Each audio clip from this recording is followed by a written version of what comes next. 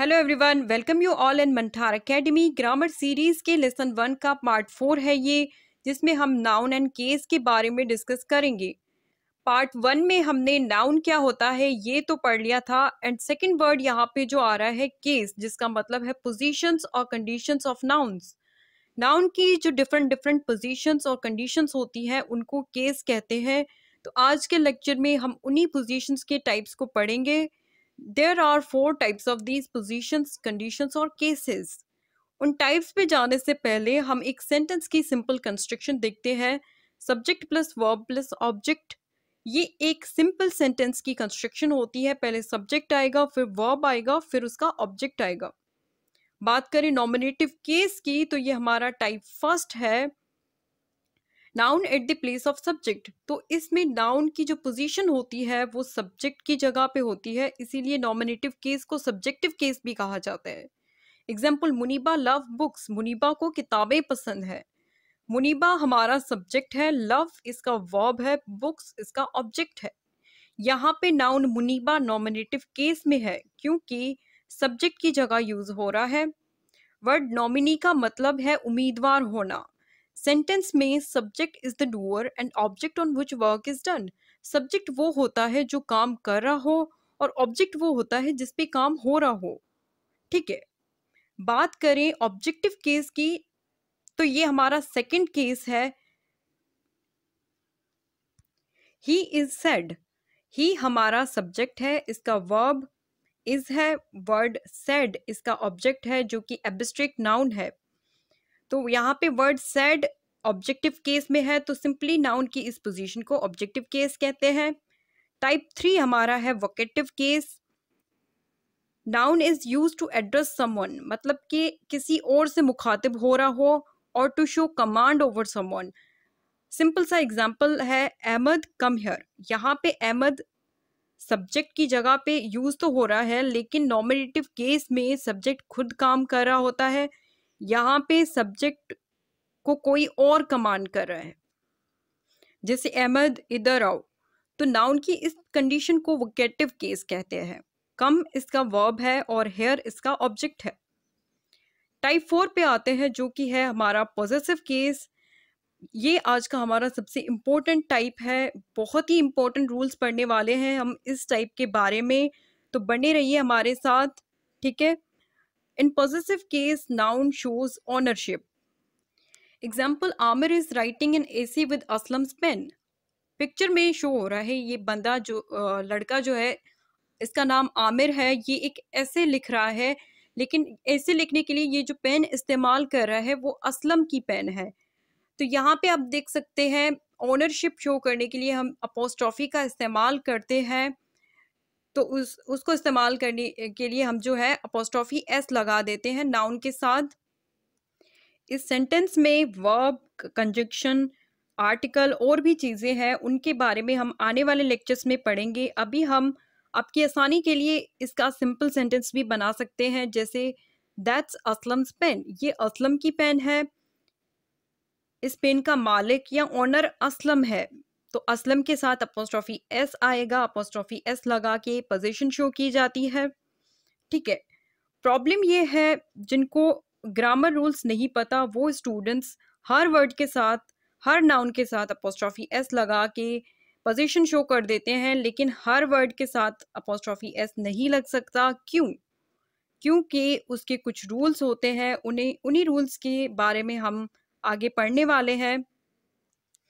here you can see two sentences on the screen क्या लगता है कौन सा सेंटेंस सही है असलम पेन इज ब्लू और the pen of Aslam is blue what you think which one is correct actually these both sentences are correct because here we are talking about living things according to grammar rules when we talk about living things we can use any of these constructions both will be absolutely correct मतलब कि बात जब living thing की हो तो हम इन दोनों ही construction को इस्तेमाल कर सकते हैं, इन दोनों ही तरीकों को इस्तेमाल कर सकते हैं।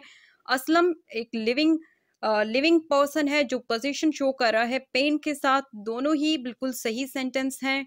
ठीक है moving on to our next slide the car's steering is not working और the steering of this car is not working what you think इनमें से कौन सा सेंटेंस सही है? Only one of them is correct if you know the grammar rules you can easily identify correct sentence within seconds but if you don't know don't worry we are here for you all you need to do is to subscribe Mantar academy आपके subscription से हमको motivation मिलती है इस काम को continue रखने की. वापस आते हैं इस पे. Why only one of them is correct because here we are talking about non living things जहाँ पे नॉन लिविंग थिंग्स की पोजीशन हो, वहाँ पे हम अपोस्ट्रॉफी एस इस्तेमाल नहीं करते। कार भी नॉन लिविंग है, उसका स्टेयरिंग भी नॉन लिविंग है। जब नॉन लिविंग है तो इसके साथ अपोस्ट्रॉफी एस नहीं आएगा। The steering of this car is not working will be correct and above sentence the car's steering is not working is uncorrect इसमें एक पॉइंट और भी रहता है। देखते हैं। Pakistan's economy is facing tough challenges. The economy of Pakistan is facing tough challenges. Which one is correct? इनमें से कौन सा सेंटेंस सही है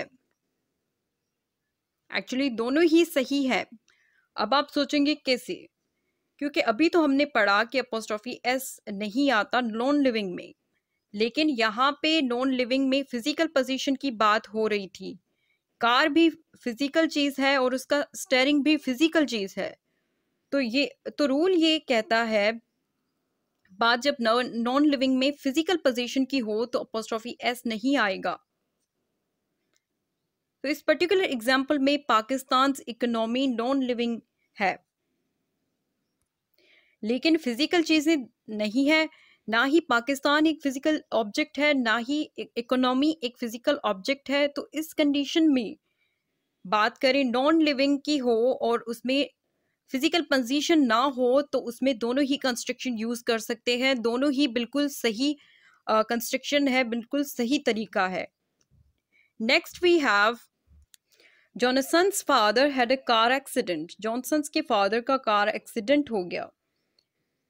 क्या लगता है क्या एरर है इस सेंटेंस में? जब कोई वर्ड एस पे एंड हो रहा हो तो खाली अपोस्ट्रॉफी का मार्क आएगा एस नहीं आएगा उसके साथ। यहाँ पे वर्ड जॉनसन एस पे एंड हो रहा है तो उसका पोजीशन खाली अपोस्ट्रॉफी मार्क लगा के हो गया जॉनसन्स फादर। अगर पढ़े जॉनसन तो ये तो पढ़ने में ही इतना अजीब लग रहा है तो वो एस नहीं आएगा वो आ, बिल्कुल रॉन्ग है यहाँ पे एरर है तो रूल के हिसाब से जॉनसन्स फादर ये इस तरह से होगा। तो रूल हमने ये पढ़ लिया है कि डाउन के एंड में एस हो तो उसके साथ अपोस्ट्रॉफी एस नहीं आएगा। खाली अपोस्ट्रॉफी का मार्क आएगा। लेकिन ये रूल अनकम्प्लीट रूल है। इसको कंप्लीट सीखने के लिए हम सेकेंड एग्ज़ाम्पल देखते हैं।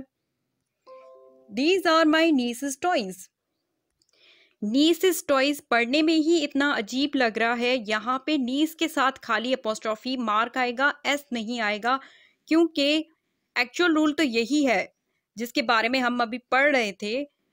तो रूल ये है कि वो नाउन जो एंड में साउंड स या सा स या एस करके आ रहा हो तो उसके पोजीशन में खाली अपोस्ट्रॉफी आएगा विदाउट एस तो यहाँ पे नीस के एंड में साउंड स आ रहा है, इसलिए नीस का खाली मार्क आएगा एस नहीं आएगा. तो रूल ये है एस एंड में हो या ना हो, लेकिन अगर साउंड एस में एंड में एस का आ रहा हो तो उसके साथ खाली अपोस्ट्रॉफी का मार्क लगा देना है आपको, ठीक है? एक दो चीज़ें और रहती हैं, उनको भी देख लेते हैं, जैसे जॉइंट पोजीशन जॉइंट पोजीशन होता क्या है? इसको एग्ज़ाम्पल के साथ समझते हैं। Ahmad and Mairaj house is on rent यहाँ पे वर्ड हाउस एक सिंगुलर नाउन है, और वर्ब भी इसका आगे सिंगुलर आ रहा है। यानी एक घर की बात हो रही है, यानी अहमद और मायरा दोनों ही उस एक घर के ऑनर हैं। जब दोनों ही एक हाउस के ऑनर हैं तो एक के साथ पोजीशन आएगा तो जो लास्ट में है, उसके साथ अपोस्ट्रॉफी आएगा तो यहाँ पे मायरा के साथ अपोस्ट्रॉफी आएगा। तो इस तरह से जॉइंट पोजीशन काम करता है, यानी अहमद और मायरा जॉइंट दोनों ही एक हाउस के ऑनर हैं। बात करें सेपरेट पोजीशन की तो एग्ज़ाम्पल के साथ समझते हैं Ahmad and Mairaj houses are on rent यहाँ पे अहमद और मायरा दोनों के साथ अपोस्ट्रॉफी है। क्यों? क्योंकि इसका सब्जेक्ट प्लूरल है। हाउसेस प्लूरल है, आगे इसका वर्ब भी प्लूरल है। यानी दो अलग अलग घर की बात हो रही है, जिसमें एक का ओनर अहमद है और एक की ओनर मायरा है। तो इस तरह से जब अलग अलग सब्जेक्ट होंगे तो अपोस्ट्रॉफी दोनों के साथ आएगा। तो इस तरह से प्लूरल यानी जब डबल सब्जेक्ट हो आपके तो अलग अलग पोजीशन आएगी, जिसको सेपरेट पोजीशन कहते हैं। दैट्स इट आज का हमारा लेक्चर यहीं पे ख़त्म होता है। मंठार एकेडमी को सब्सक्राइब करना ना भूलें और बेल आइकन को भी लाजमी क्लिक कर दें। आप अपनी क्वायरीज कमेंट सेक्शन में पुट कर सकते हैं। अगर हमको फ्री टाइम मिला तो हम आपको ज़रूर उन क्वायरीज़ का आंसर भी करेंगे। Thank you so much